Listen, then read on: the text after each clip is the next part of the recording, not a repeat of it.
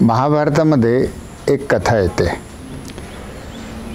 महाभारताचं युद्ध संपलं आहे सगळीकडे जखमी आणि मेलेल्या देहांचा खच पडलेला आहे. दोन्ही बाजूंना खूप जखमा झालेल्या आहेत. आणि तशा त्या कुरुक्षेत्रामध्ये एका अश्वत्थामाला शाप मिळालेला आहे. शाप असा आहे की या पापात भाग घेतला म्हणून डोक्यावरती भळभळती जखम घेऊन त्याला आयुष्यभर जगायचं आहे आयुष्यभर तो उपाय शोधत फिरतोय की माझ्या जखमेवरती उपाय काय आहे?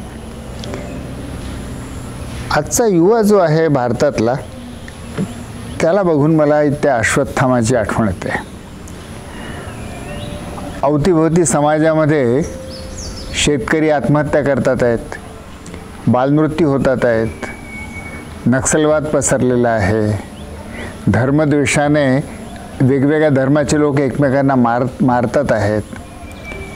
गरिबी आहे विषमता आहे स्त्रियांवर अन्याय आहे बलात्कार आहेत सगळीकडे जणू काही महाभारताचं युद्ध पेटलेलं आहे. आणि त्यामध्ये हा तरुण आपली एक जखम घेऊन फिरतो आहे की याचं उत्तर कुठे शोधतो त्याची जखम काय? जखम काय? जखम ही आहे की या जीवनाचं काय करू? माझ्या अवतीभोवती इतकी विराट समस्या आहे आणि माझं एकटं जीवन आहे याचं मी करू काय?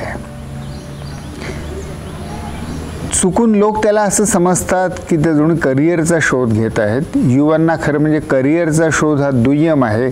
त्याचा प्राथमिक प्रश्न खरं म्हणजे आहे आणि असायला हवा की या जीवनाचं काय करू? दहा वर्षापूर्वी सुरू झालेली निर्माण नावाची ही शैक्षणिक प्रक्रिया आजच्या युवांना याचं उत्तर शोधायला मदत करते. की या समाजाचं मी काय लागतो? माझ्या आंतरिक उर्मी काय आहेत? या जीवनाचं मी काय करू? इतरांनी काय केलं? समाजामध्ये यापूर्वी अनेक लोकांनी वेगवेगळे प्रश्न सोडवले. त्यांनी कसे सोडवले? समाजातले प्रश्नच कोणते आहेत मुळी? मी कधी खेड्यात गेलो नाही मी कधी आदिवासी भागात गेलो नाही मी कधी जंगलात गेलो नाही. तिथे जाऊन हे प्रश्न मला बघायला मिळावे. ज्यांनी प्रश्न सोडवले त्या लोकांना भेटायला मिळावं त्यांच्या कथा ऐकायला मिळाव्या आणि स्वतः प्रश्न सोडवण्याची संधी मिळावी. त्यातून या अवतीभोवती चाललेल्या महाभारताच्या युद्धामध्ये या जीवनाचं काय करू याचं स्वतःचं उत्तर शोधता यावं. म्हणून महाराष्ट्राच्या युवांसाठी निर्माण.